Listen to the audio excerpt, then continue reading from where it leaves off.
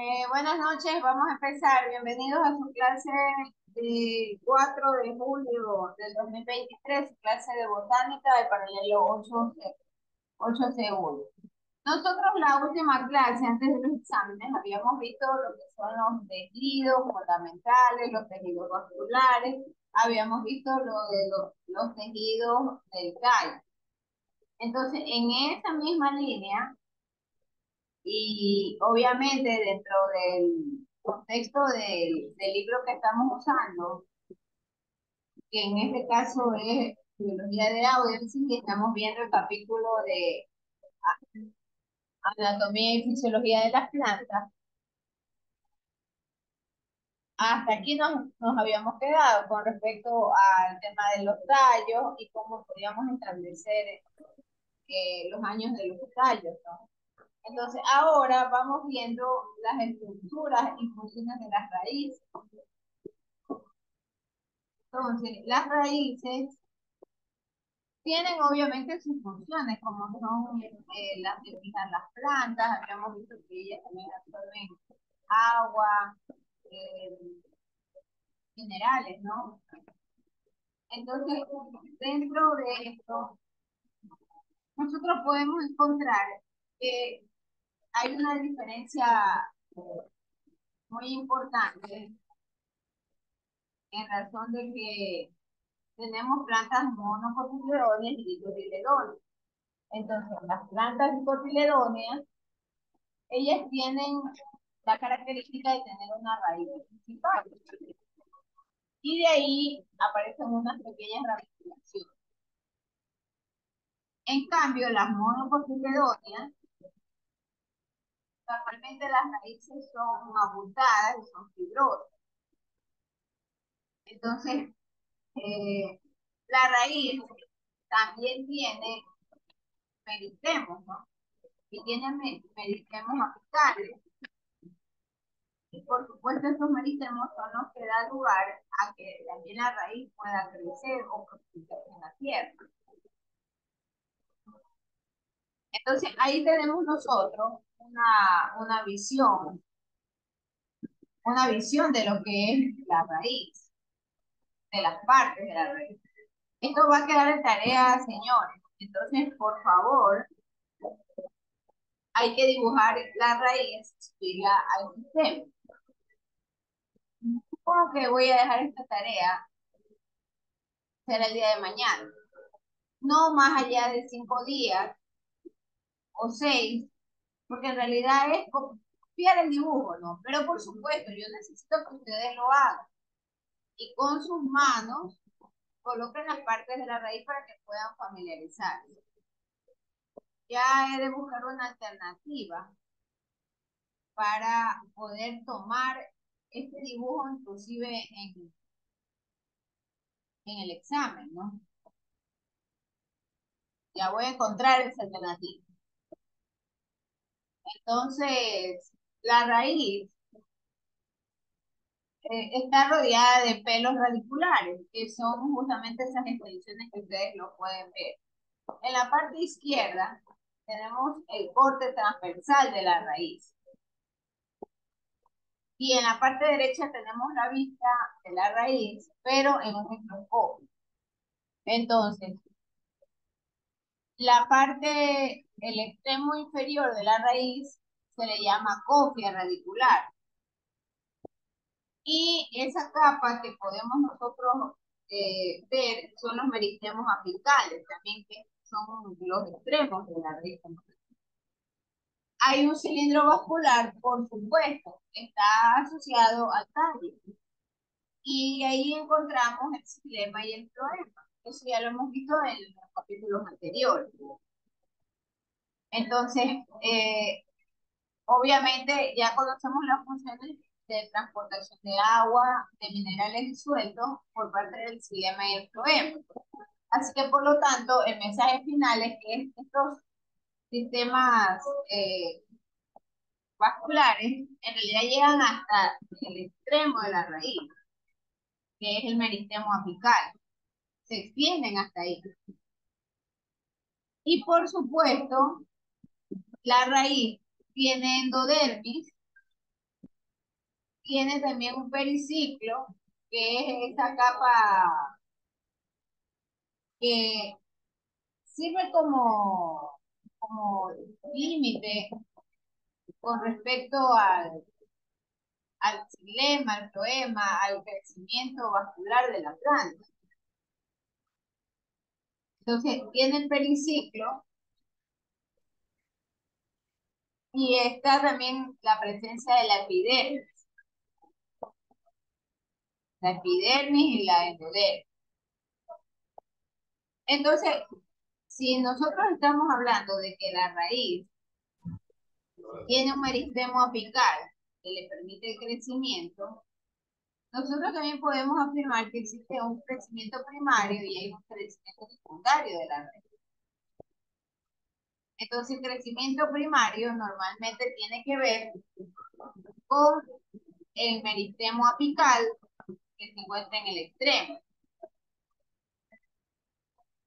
Las partes de la raíz en términos generales son, como ustedes lo pueden ver, la copia, la epidermis, la corteza y el cilindro vascular. Ahí tenemos una, una imagen sobre el tema de los pelos radiculares. Pero eh, los pelos radiculares en realidad eh, usted los puede observar fácilmente cuando desprende alguna planta del suelo y usted ve aquellos eh, raíces más finitas, ¿no? Dame, Sofía. Esa, Tiene que todo. Dime la verdad, Sofía. esos son los, apaguen los micrófonos, no sé quién tiene abierto el micrófono. Acá tenemos las funciones de absorción de agua y mineral. Entonces, habíamos mencionado que hay raíces especiales o diferentes, ¿no?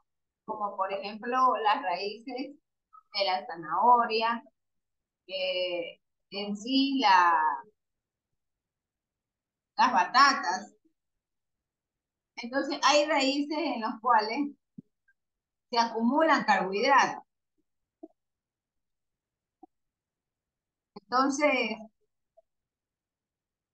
normalmente las raíces especiales, ¿no?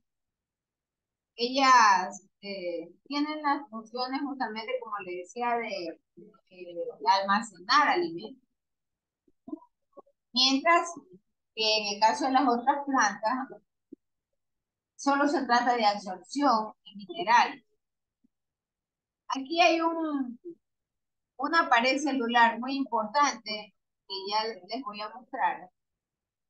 De algo de ella hablamos con respecto a las células.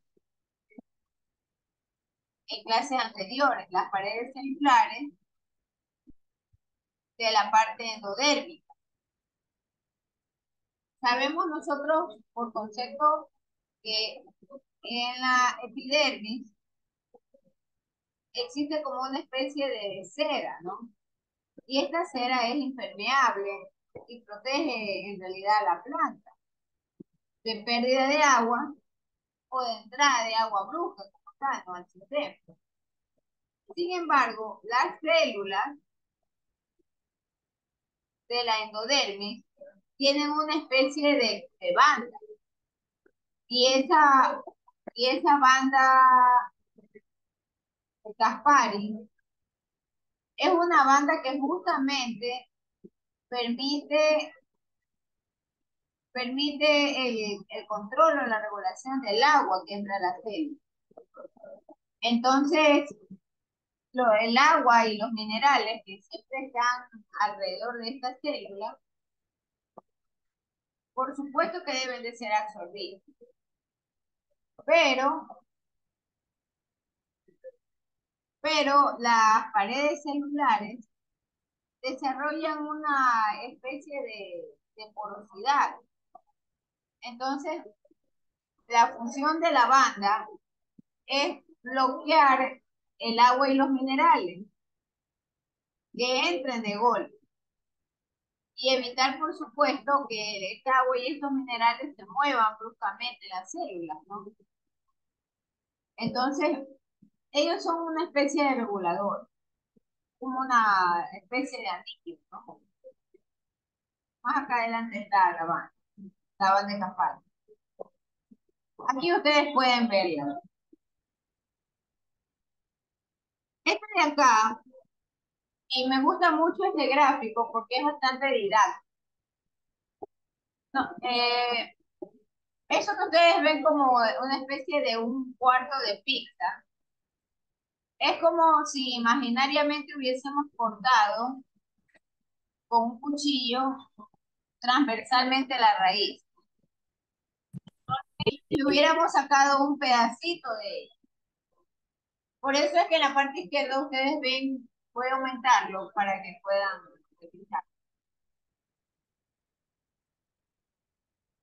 Creo que ahí ya lo pueden ver mejor. Entonces, este es un corte transversal de la raíz. Y es como si imaginariamente le pasásemos el cuchillo y dejamos una pequeña franja de ella y lo vemos en el microscopio. Entonces, ahí pudiéramos nosotros darnos cuenta, por ejemplo, de la apariencia de aquellos especies de fibras pequeñitas que salen de, de la raíz, ¿no? Que son los pelos radiculares. Y entonces los pelos radiculares que están en el suelo, vamos a leer o interpretar este gráfico de derecha a izquierda, desde la parte de, los puntitos cafés. entonces, los pelos radiculares que están en contacto con el, suelo se encargan del ingreso del agua. Esto que usted ve uno es justamente el agua. Entonces, al momento de ingresar a través del pelo radicular, llega a la epidermis de la raíz, la capa de la epidermis. Muy importante, y mucho ojo con esto. La epidermis de la raíz no tiene esa capa serosa. Porque si tuviese la capa serosa, sería impermeable y no pudiese ingresar el agua. Entonces, la epidermis de la raíz permite el ingreso, el flujo del agua. Y esta a su vez llega a la capa de la corteza e ingresa a la endodermis. La endodermis es esa línea de color naranja que ustedes pueden ver. Por si acaso, estamos explicando las líneas o las flechas de color azul. Voy a, a crearlo. Las de color azul.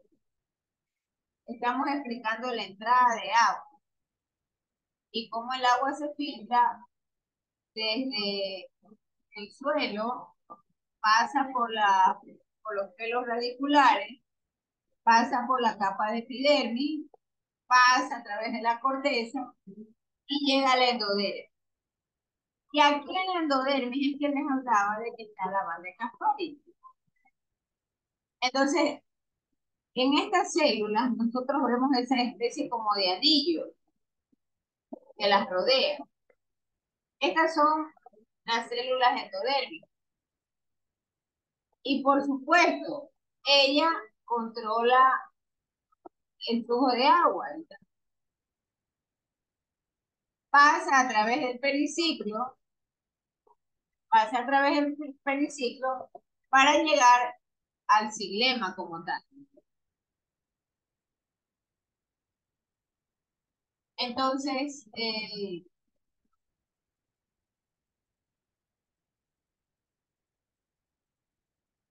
la parte de abajo está el comentario de la figura. Y en el comentario de la figura, a usted le menciona que en el agua, por supuesto, van disueltos los minerales. Y se llenan las paredes celulares, que son de carácter poroso, para llegar a las células de piel.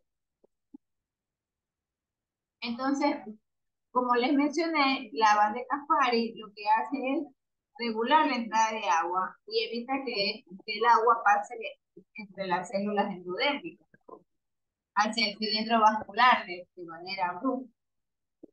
Entonces los minerales lo que hacen es van de una célula a otra a través de los plasmodesmos.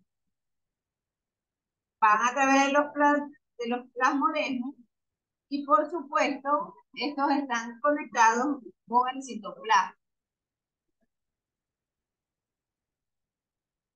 Ahora, veamos la entrada de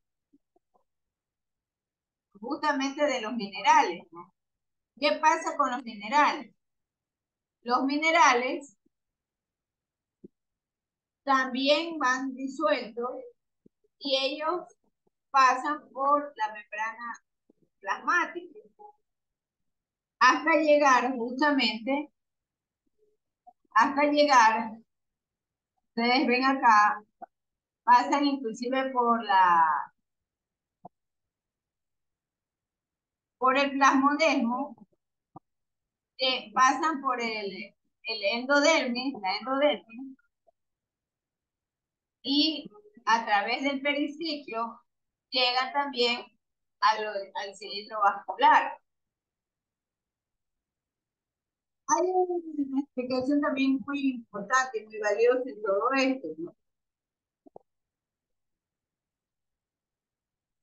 Los minerales llegan normalmente a través de, o ejecutan la función osmótica, la osmosis. Y hay un sinnúmero, sí, voy un poco a abrirme de, la parte técnica de, la biología y de la botánica. Hay chistes cuando alguien le dice, oye, ¿cómo has aprendido tú? Y has aprendido es por osmosis, ¿no? Entonces, osmosis es la capacidad de poder regular a través de membranas las cosas.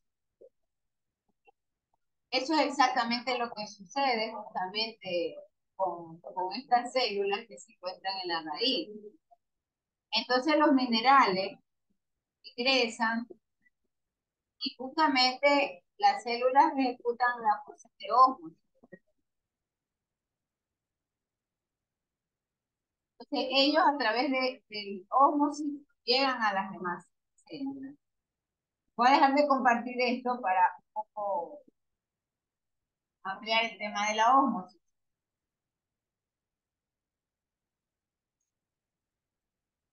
Entonces, el tema de osmosis no es otra cosa sino una especie de difusión pasiva, en donde el agua que tiene la función de actuar como disolvente pasa por las membranas y son membranas semipermeables. Entonces, se va regulando en función de las concentraciones.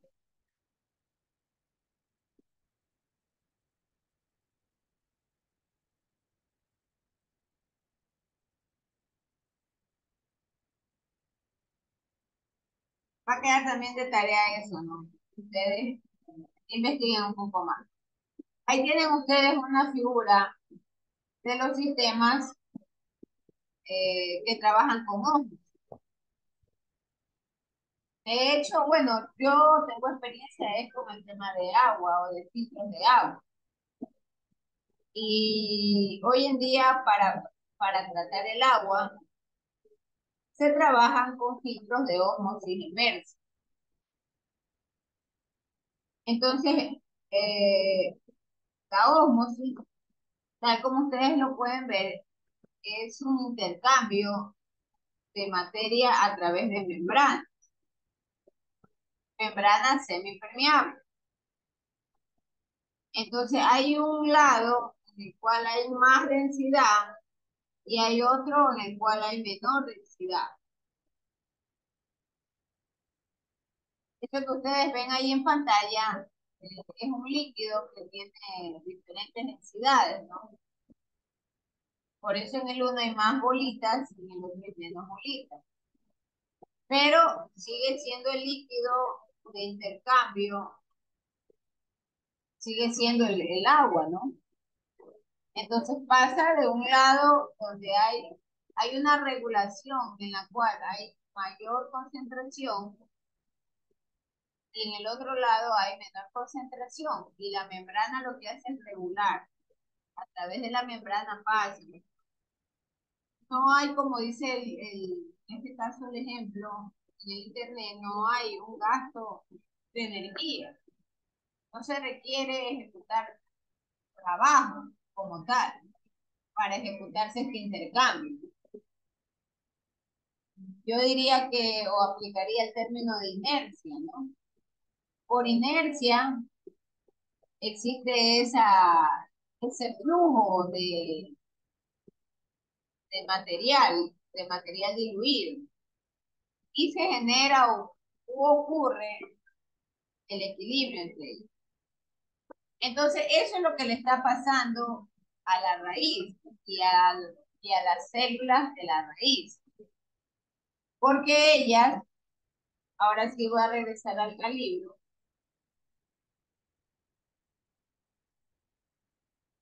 porque ellas aplican esta, este sistema. Ellos aplican este sistema y los minerales se difunden justamente por las paredes o las membranas plasmáticas de la célula. Y estas células se encuentran en el periciclo y en la cara justamente de las células endodérmicas, ¿no? Que están rodeadas por esta banda de Caspari. Entonces, en realidad, el paso del agua sigue por, por este sistema de ojos. Entonces, los minerales y el agua, nosotros sabemos que van viajando por las traqueas y por los elementos del vaso del xilema y lo hacen pasando todas esas concavidades que vimos la clase anterior, ¿no? Esas concavidades o esas especies como de, de, de huequitos, ¿no? En donde estaban todos ellos distribuidos a lo largo de las traqueas.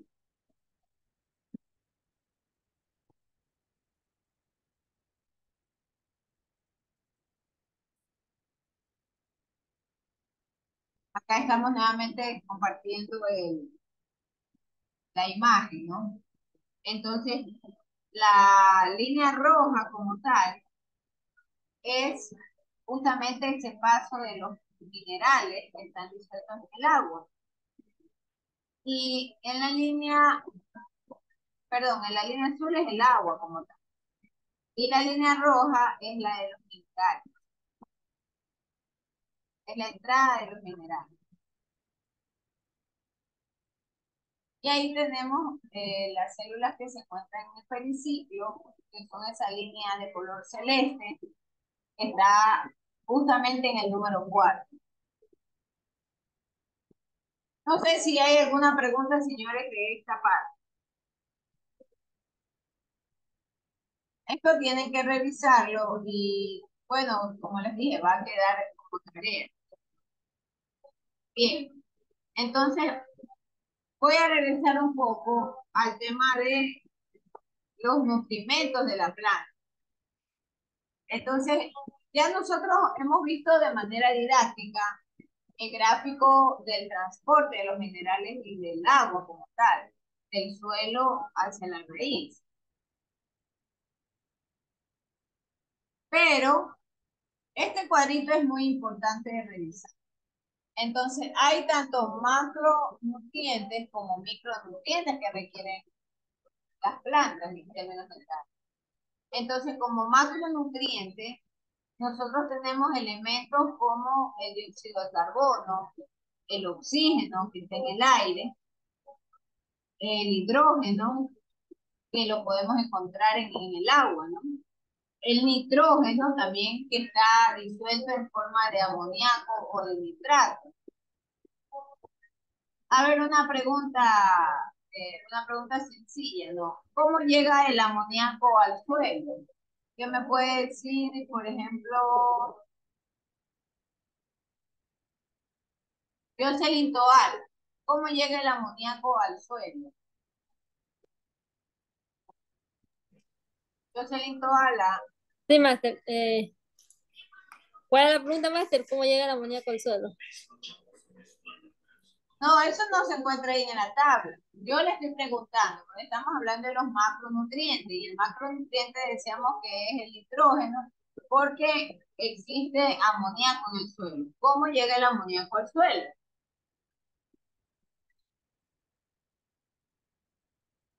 Yo a ustedes al inicio de la clase les pedí que investiguen sobre el ciclo de nitrógeno. Así que supongo que ya a estas alturas todos conocen bien o recuerdan bien el ciclo de nitrógeno.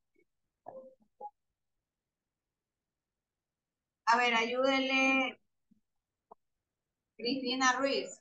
Eh, se deriva de la descomposición de los animales, las plantas. Correcto. Muchas gracias. Y esa es la respuesta. Así es como llega el nitrógeno al suelo y así es como hay la presencia de amoníaco. Correcto. Muy bien. Entonces, otro macronutriente es el potasio, el calcio, el fósforo, el magnesio y el azúcar. Esos son los macronutrientes que requieren las plantas. Como micronutrientes tenemos al hierro, al cobre, al manganeso, al zinc, al boro y al molibdeno. Aquí hay algo, un detalle muy fundamental. Si bien es cierto, dice que el micronutriente es el cloro, pero yo prefiero dejarlo más eso eh, un poco como tema que está rozando o tocando problemáticas de contaminación industrial en el suelo. De manera tal que cuando las industrias o nosotros eh, botamos agua con detergente, con tensoactivos en general, el cloro se convierte en un agente perjudicial para el desarrollo de los plantas. Entonces, no, no es recomendable, no es recomendable que nosotros generemos descargas de agua con, cloro incluido, o con restos de detergente de jabón. Porque lo que estamos haciendo sencillamente es generar eh, un daño a la raíz como tal y a los pelos radiculares.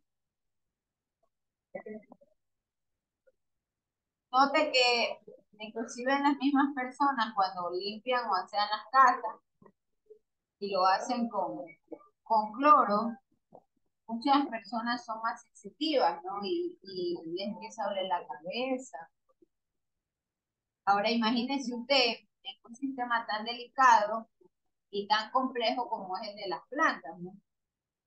Exponerlas a, a cloro. Bien, eh, voy a dejar de compartir. Enciendan las cámaras para hacer la foto del curso, por favor. Están conectadas 48 personas. Alison Silvestre, Ana Alvarado Galway, Valladares, Diego, Mancho Modalis, Bermeo Nelson, Orbor Alessandro, Cantel Carlos, Chomillo Anthony, Corrales Eliezer, Ani Cortés, Ariana Cusco, Diana Morales, María Duarte, Darik Serazo, Lidia Gaibor, Genesis Huancayo, María José González, Genesis Grijalva, Germania Guadamón, Antonio Gualoto, Carlos Hidrobo, Jonathan España Gutiérrez, Lema Dumancela, Lord Delgado, Lord Vivas, López Litardo, Madeline Zambrano, Mantuano León, Maxi Bajaña, Navarrete Briones, Pachay Peña, Palacio Aguayo, Peña Dali, Guille Macías, Vivas Núñez, Luis Arti, Sabando Moreira, Silva Toala, Soledad Patapia, Sosa Bones, Toda la Plúa, Torres Aldaz, Baco Olvera, Velázquez Barbotó, Velos Arriaga, Yaritza Bajaña, Zapata Vera, Candel Campo Verde. ¿Qué sabe Sarita de Don ha desaparecido ayer y hoy. Esto le va a registrar como falta. Este, buenas noches, ingeniera. No, el compañero Braulio no me ha comentado nada. La otra vez me dijo que estaba delicado de salud, pero ahorita no sé nada de él. Otra persona que estaba también en la, en la mira es Yaguar, me parece. Claro que sí, Yaguar. Por favor, pásale, eh, hágale un recordatorio a las personas que no pueden estar faltando porque muchas de ellas están, como que dicen, la cuerda floja con el tema de faltas. Danos, por favor, esa ayuda.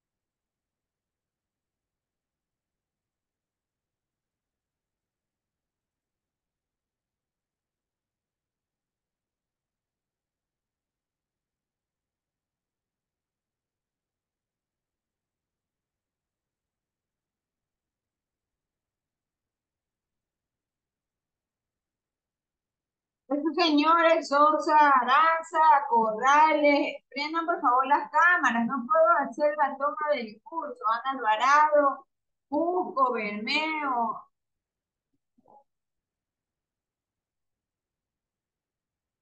Hagan el favor de abrir la cámara, tengo que hacer la foto del curso.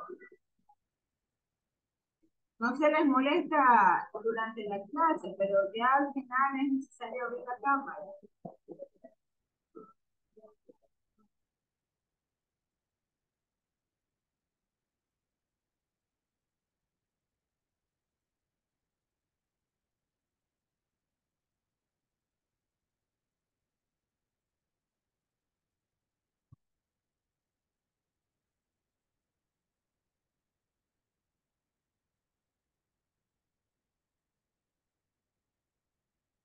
Bien, entonces miren, queda como tarea leer, leer el material del libro que está especializado, ¿no?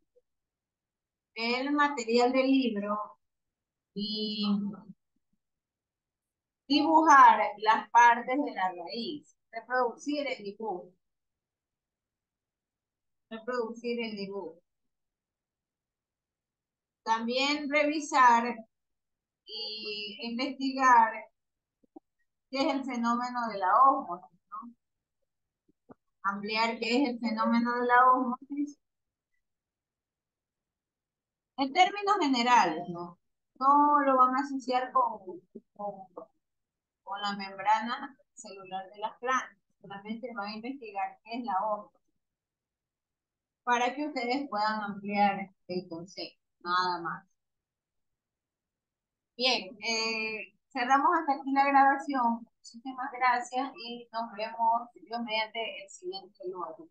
Gracias, cerramos la grabación.